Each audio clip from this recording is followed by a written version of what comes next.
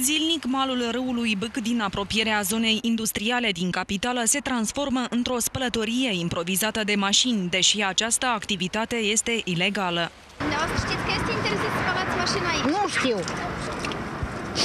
Ați primit amendă vreodată? Am primit. Ați plătit amenzi? Am plătit. Nu doar cei care spală mașinile riscă amenzi, ci și clienții spălătoriilor improvizate. Nu, prima dată. Dar eu m- am mers pe aici pe drum și am văzut că și aici n-am tras pe mașină. Eu, dacă știam, nici acum n-am văzut să mă opresc. Reprezentanții inspecției ecologice spun că fenomenul ia amploare în ultima perioadă. Aici este cererea foarte mare din partea șoferilor. Dacă dânsii nu ar uh, solicita să fie spălat transportul, clar lucru cu persoanele care oferă serviciile astea de spăla- de spălare uh, automobililor, nu ar avea ocupație și ar pleca de bunăvoie. Ecologiștii spun că nivelul de poluare a râului Bâc a atins cote maxime.